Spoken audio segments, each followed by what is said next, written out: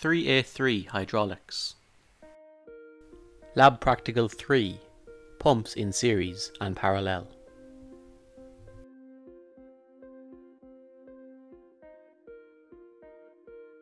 Pumps are devices which transport, raise or compress fluids. They consume energy, for example electrical energy, to perform mechanical work in moving a fluid. There are three basic types of pump centrifugal, axial flow, and positive displacement. In centrifugal pumps, the direction of flow of the fluid changes by 90 degrees as it flows over an impeller. In axial flow pumps, the direction of flow is unchanged. A positive displacement pump, meanwhile, moves a fluid by repeatedly enclosing a fixed volume and moving it mechanically through the system. The use of pumps is widespread in civil engineering. They are used in water supply and treatment, aeration, oil and gas extraction,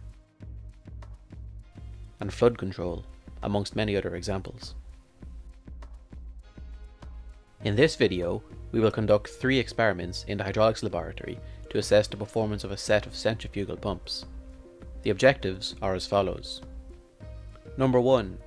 Study the performance of a single centrifugal pump over a range of discharges and speeds. Number 2.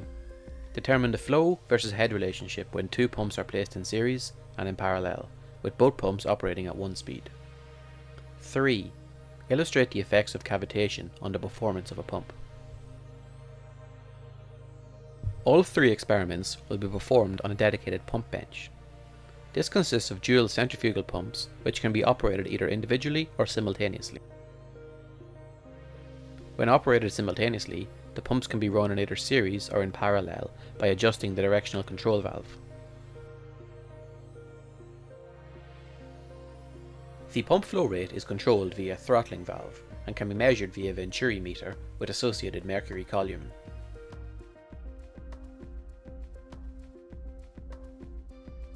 Manometers are used to measure pressure on both the suction and delivery side for each pump. The power output from the pumps may be varied and can be viewed on the inbuilt tachyometer display. A dynamometer meanwhile may be used to measure the brake load of each pump.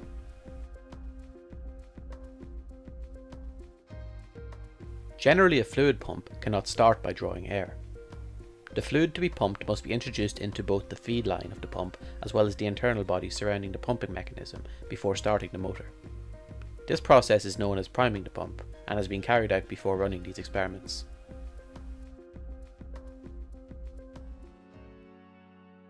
Part 1 Performance of a single pump. In this experiment, we will investigate the performance of a single centrifugal pump under a variety of flow rates and speeds. The relationship between pressure, i.e. the head difference h, and the flow rate, q, will be observed. For a number of different pump speeds, n, the power output, p, will also be observed at various flow rates. The four pump speeds to be analysed are shown on screen.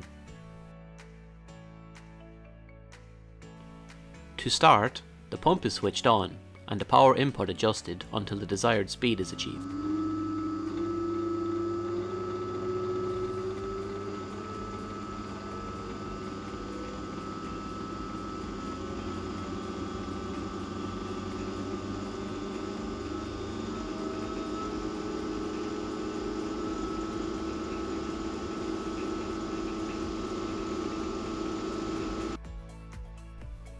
The suction and delivery pressures are documented for each pump speed.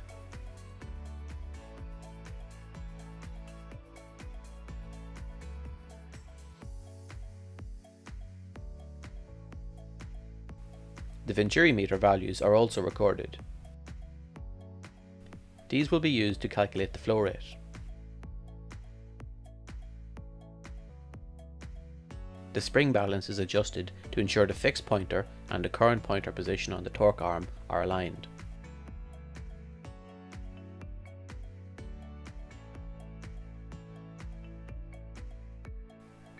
Once aligned, the torque reading is recorded.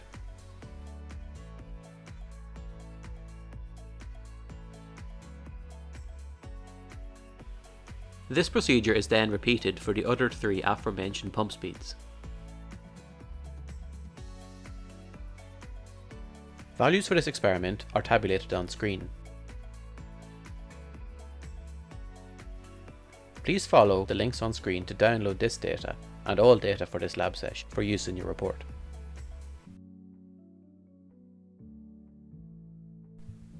Please use this data to create the following plots.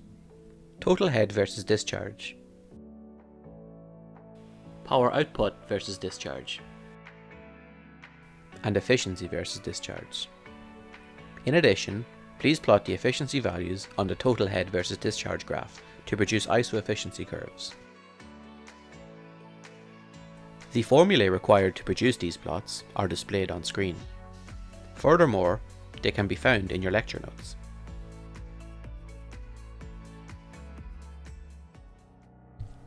Part 2 Performance of pumps in series and in parallel. As stated earlier, the experimental rig can be used to run the dual pumps in both series and in parallel by way of adjusting the directional control valve.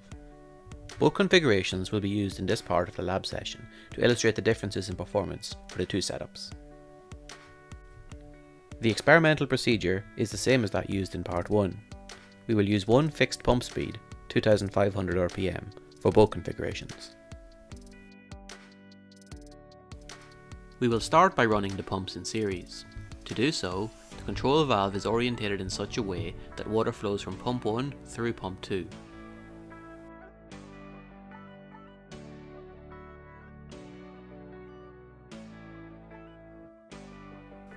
The intake valve for pump 2 is also closed.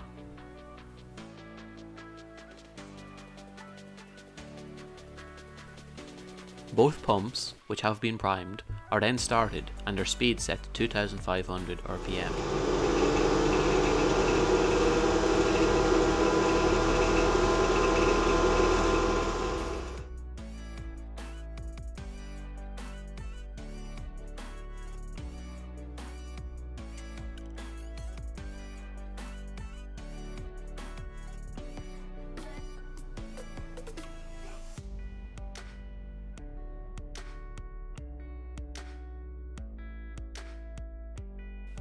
Readings for delivery and suction pressure, Venturi meter mercury height,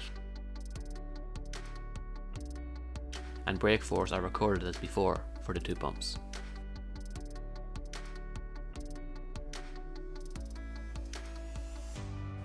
The pumps are next configured to operate in parallel. This is achieved by opening both inlets and setting the control valve such that both pumps independently push water towards a point of convergence just before the flow control valve.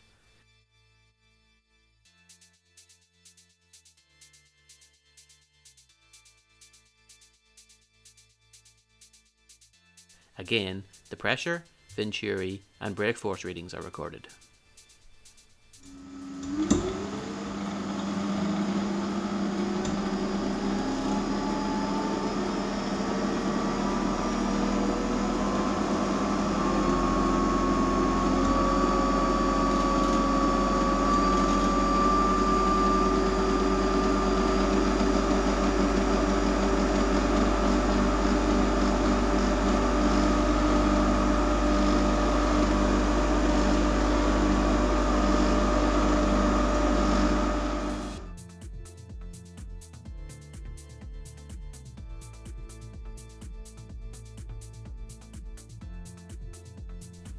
Results from these experiments are tabulated on screen.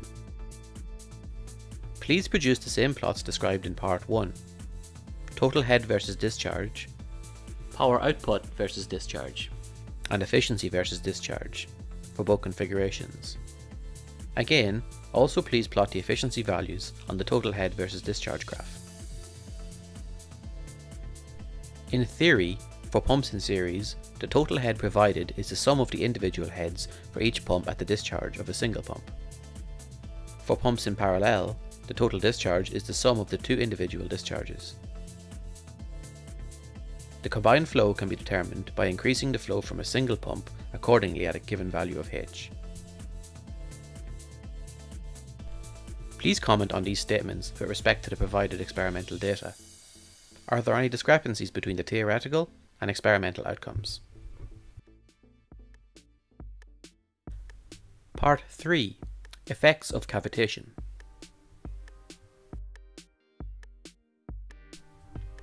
Cavitation in pumps refers to the rapid creation and subsequent collapse of air bubbles in a fluid. These bubbles develop in areas of relatively low pressure when the net positive suction head available is lower than the net positive suction head required.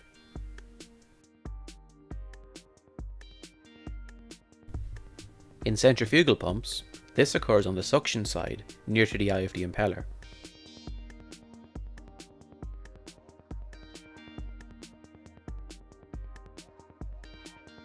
As the liquid accelerates due to impeller rotation, pressure in the fluid increases to above the fluid's vapor pressure and the bubbles collapse.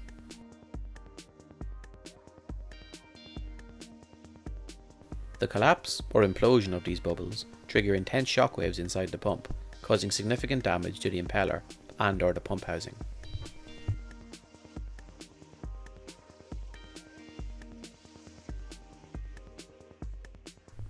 If left untreated, pump cavitation can cause numerous issues.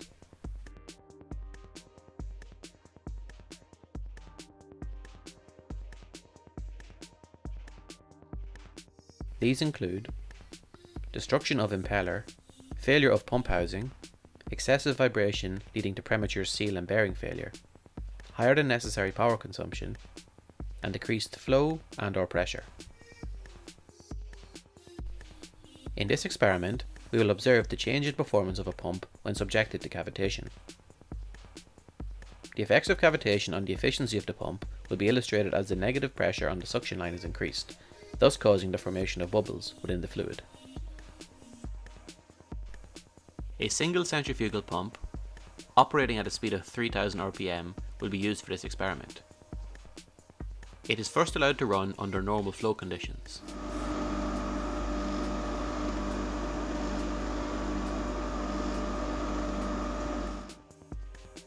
The inlet valve is then gradually closed, thus greatly reducing the pressure on the suction side of the pump.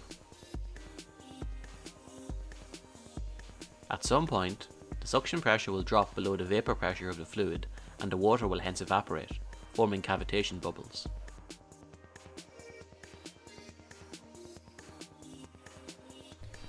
The onset of cavitation is noticeably visible and audible. A stream of bubbles may be viewed passing rapidly through the transparent venturi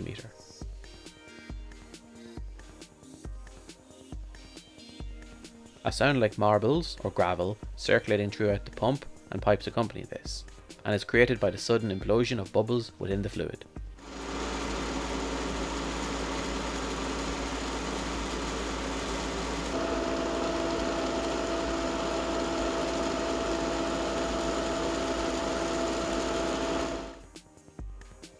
As before, the pump speed, pressure and venturi readings from this experiment are recorded.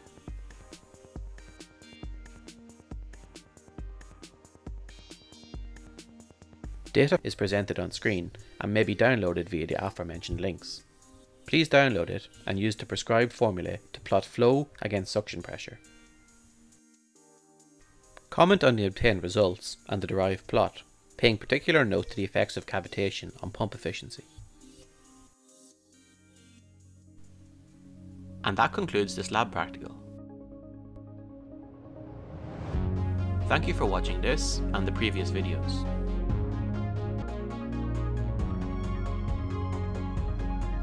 Good luck to everyone in submitting your report. We hope to see you in the labs again during your senior sophister year.